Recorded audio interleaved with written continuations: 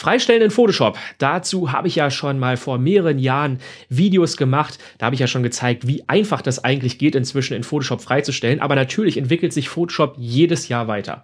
Und natürlich ist es auch in dem Bereich wieder etwas vorangegangen. Und ich zeige dir heute, wie du mit Photoshop 2023 deine Bilder richtig einfach freistellen kannst, beziehungsweise wie du ganz einfach Motive freistellen kannst und sogar mehrere Motive gleichzeitig freistellen kannst in deinem Foto. All das in diesem Video und es gibt natürlich auch heute wieder was im Adventskalender zu gewinnen, nämlich von meinem geschätzten Kollegen Bastian Werner sein Videotraining Himmelsfeuer.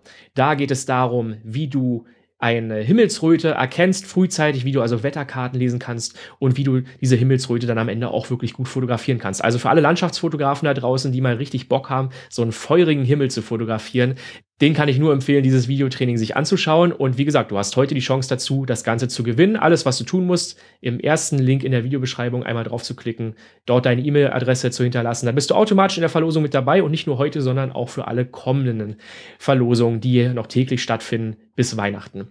Lohnt sich also auf jeden Fall, weil das Ganze ist komplett kostenlos und jetzt wünsche ich dir ganz viel Spaß mit diesem Video. Ich habe jetzt hier mal ein Foto offen, was natürlich relativ offenblendig fotografiert wurde. Das heißt, Photoshop sollte relativ gut auch die äh, Haare und so weiter erkennen. Wobei man sagen muss, dass natürlich dadurch, dass es so offenblendig fotografiert wurde, sieht man jetzt hier vielleicht auch schon im Hintergrund die Haare wieder so ein bisschen unscharf werden. Also ich bin mal sehr gespannt darauf, wie das Ganze funktioniert. Und wenn ich jetzt so ein Motiv quasi freistellen möchte, gibt es mehrere Möglichkeiten inzwischen in Photoshop.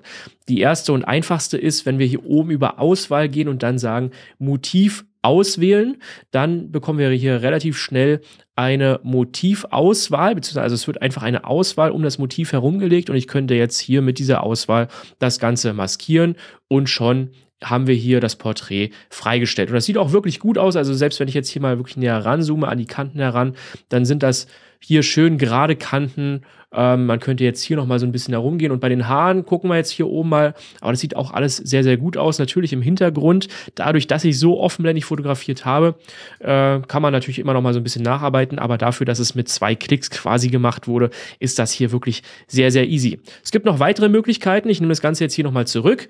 Ähm, ich könnte jetzt zum Beispiel hier auch reingehen mit dem Schnellauswahlwerkzeug oder dem Objektivauswahlwerkzeug. Da kann ich jetzt hier auch einfach einmal rumgehen und dann sagen, äh, Photoshop soll bitte das entsprechende Motiv hier an dieser Stelle erkennen. Auch das wird genauso gut funktionieren. Und schon haben wir hier entsprechend die gleiche Auswahl wieder. Auch hier könnte ich jetzt eine Maske drumherum setzen, dann haben wir genau dasselbe Ergebnis. Es gibt auch noch eine Neuigkeit. Ähm, wenn man jetzt mehrere Motive quasi in einem Bild hat, dann kann ich jetzt hier auch einfach auf diese Ebene einen Rechtsklick machen und dann sagen, alle Objekte maskieren. Und dann werden auch mehrere Motive automatisch erkannt und diese dann entsprechend äh, auch maskiert. Also, geht super einfach.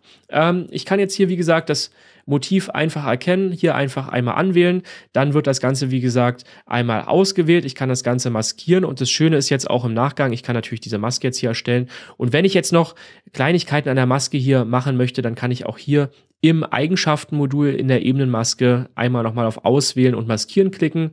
Genauso gut kann ich das auch hier oben machen, Auswählen und Maskieren. Komme jetzt hier nochmal in einen Dialog, kann jetzt hier zum Beispiel noch die Haare so ein bisschen verfeinern mit dem Pinsel entsprechend. Ja, da kann ich jetzt hier auch die Pinselgröße noch ein bisschen einstellen, die Härte ein bisschen weiter runter und kann jetzt hier nochmal ein bisschen nachmalen und damit Photoshop sagen, guck dir die Haare hier nochmal ein bisschen genauer an dann wird das Ganze hier nochmal entsprechend ein bisschen verfeinert. Und dann klicke ich hier einfach am Ende einmal auf OK, kann das Ganze auch in einer neuen Ebene mit einer Ebenenmaske nochmal erstellen und dann ist das Ganze hier auch nochmal verbessert. Aber du siehst, man kann wirklich sehr einfach und sehr zeitsparend hier tatsächlich in Photoshop inzwischen Auswahlen treffen und auch maskieren, um bestimmte Motive in seinem Bild einfach freizustellen. Das war's mit diesem Video. Ich hoffe, es hat dir gefallen und du weißt jetzt noch mal ein bisschen genauer, wie du in Photoshop freistellen kannst. An dieser Stelle noch mal kurz die Erinnerung an den Adventskalender. Einfach den ersten Link in der Videobeschreibung anklicken, dort nur deine E-Mail-Adresse lassen und dann bist du automatisch in der Verlosung mit dabei. Sowohl für heute als auch für alle anderen Verlosungen, die noch kommen bis zum Heiligabend. Heute kannst du das Videotraining von Basti Werner gewinnen, Himmelsfeuer. Und ich wünsche dir dabei ganz viel Glück und wir sehen uns im morgigen Video wieder. Bis dahin.